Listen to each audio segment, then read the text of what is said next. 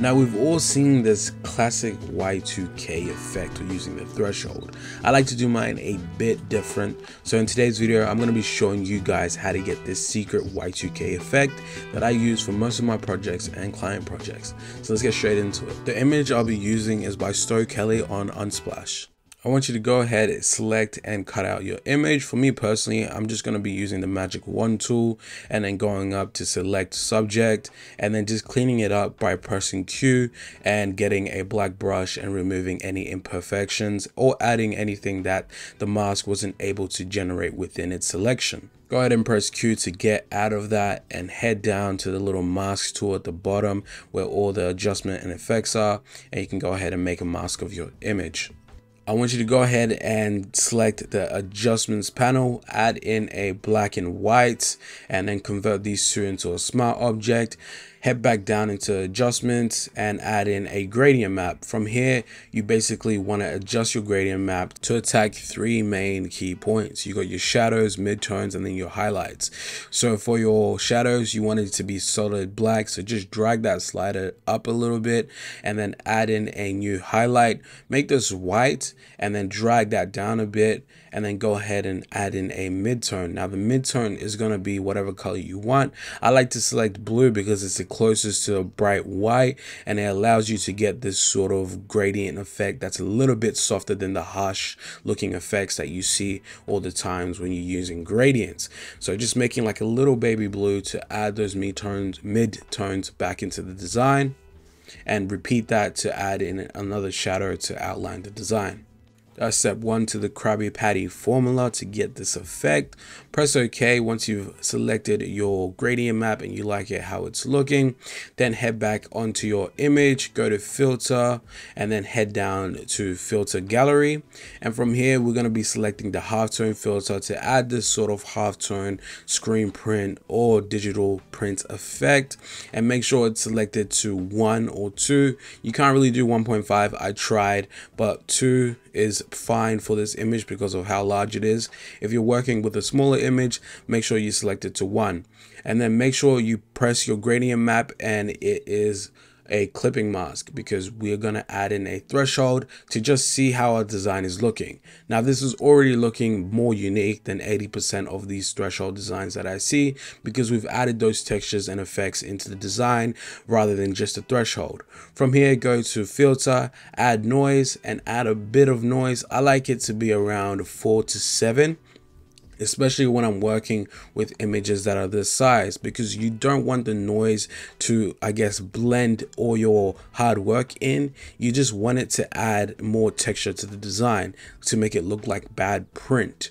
And now this is going to be the basis for our whole design. Next, go into Illustrator, add in a new Illustrator document and just type in your brand name. I'm just going to be using this as a shell to draw over the top on with Photoshop, but just to make sure that we're getting all the placements of the letter right, this is how to make sure that I get those right the first time. Once you've got your type, just head back into the Photoshop document and Command T, Command V the type into Photoshop. Just place it where you want it and you're basically going to want to turn off all the layers. Grab a brush that has some sort of pressure sensitivity. I'm using a drawing tablet to make sure I get this effect of hand drawn swivelly type looking right and just go ham and just make a sort of custom typeface. Don't take yourself too seriously when you're tracing this type to make your own custom typeface. Make it nice and flowy and resemble a sort of smoke effect and make sure that you have fun because making custom type is literally soul draining, but I like to enjoy it somehow because it makes your design just stand out a bit more rather than just using a classic free font from DaFont or whatever font website that you guys use. But once you get to the stage of this trace or outline of how you want it, just grab a fill bucket and just fill in all your type using that fill bucket by pressing G on your computer or just heading over to the fill bucket tool to the left where all your tools are. From here, make any adjustments that you need to on the effect itself. Finally, to add that sort of grunge element, you're going to want to add in a displacement map A displacement map is another Photoshop file that you need to create of just a grunge effect and basically save that image into a folder and just call it maps. And then from here, a displacement map is a grayscale black and white copy of the image. And by simplifying the image's colors, highlights, and shadows into shades of gray, you can add that displacement map effect onto your actual typeface and it will conform to all the peaks of highs and midtones, making it look sort of torn, ripped, or even I guess blurry depending on what your displacement map looks like. After you got your displacement map perfect, I have a bunch of them just by going on Unsplash and selecting a bunch of textures and grabbing displacement maps and saving them as PSDs. Next, you're going to head over into blending options for your typography. Basically, you want to select inner glow and color overlay. These are the shadows and effects for inner glow that I use just to get that sort of, I guess, smoky look to my image or typeface. From here, you can make any adjustments that best suit you. But for me personally, this is almost always perfect. And I've used this on a bunch of projects. Adding the threshold to see how the typeface is looking. And this is a lot better than most designs that I see already because we've added those elements that make the design stand out. You can always try to add in any filters and adjustments to make sure it suits the sort of look that we went with with our image, but that's really not needed. Next, just turn on your image and you can start playing with placements to get it how you want it. See if anything's missing, see if you need to add anything, any colors that you want to add. You can't really add colors if you're adding thresholds until you get to the final point. But yeah, you get what I mean. Just play with it, make sure it looks nice.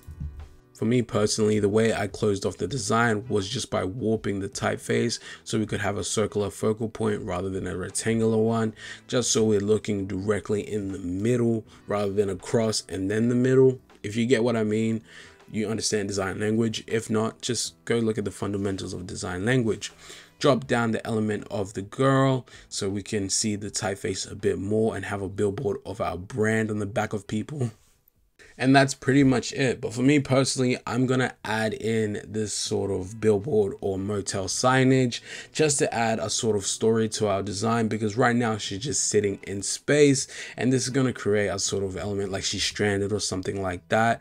And I just like having my designs looking a bit more full because they look a bit more complete. It wouldn't be a complete design without a logo. So go ahead and head back into Illustrator, add in a sort of typeface that's looking blocky, or you can add in what sort of whatever typeface that you want. Create outline, get the rotation tool and select a center point and press Command D. Make sure the rotation tool or center point isn't too far away because you want these conjoining or touching each other. From here, you want to select all of them and make sure you grab a duplicate by holding option and dragging upwards, going to Pathfinder and grab the original one and make them into one object. From here, you have a logo or typeface. Now, I want this to be gallery department-esque, so I'm going to add in a revision department within that sign, within that same typeface, and then just add in the logo within that. And that's going to make this design complete. From here, I just like to drag in the logo and just place it on top and select the color that resembles gallery department. Gallery department tends to use very like weird colors like green and red together which resembles christmas but it works for them because their designs are always under construction and that's the whole look or feel that they go with regarding their whole design aesthetic and i enjoy it. It's really well thought out and it was an inspiration for my personal brand revision once you got your color right, select your artboard and add it into your libraries or export it as a PNG, but make sure your artboard is using a transparent background and it's not selected onto white. From here, you just want to select whatever mockups that you use. I like to use my own personally, designed by Wil Pro Technical Pack, because it's so easy to use, or you can just use the classic one, which I sent an update to everyone. If you haven't checked it out, make sure you go download that update. I'm going to select the flare pants and also the t-shirt for this and just drag it into to our Photoshop document, our Illustrator document, sorry. Now that we got our design elements nice and complete, we can go ahead and add in any sort of colors that we want, any sort of effects that we want. Since I'm going with that very heavy gallery department-esque design aesthetic, I'm just going to be following that design direction regarding patches and also just very simple typeface on the front of the design and selecting colors like cream rather than white because all their garments tend to be distressed or heavily washed vintage-esque. And that's going to close it off for this really quick and easy Y2K sort of gallery department aesthetic. Now, is it really Y2K? Well, Y2K is whatever you want it to be. It just has to be within that 2000s era and sort of reference. I don't know why people keep saying I can't design Y2K. Leave me alone. Anyway, I love you guys. I'll see you in the next video. Peace. Make sure to go check out Revision because we just dropped. Love you.